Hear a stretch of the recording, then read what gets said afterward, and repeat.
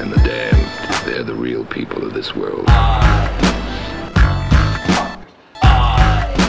Besides, I had my ambition to comfort me. I wasn't about to chase the great American wet dream.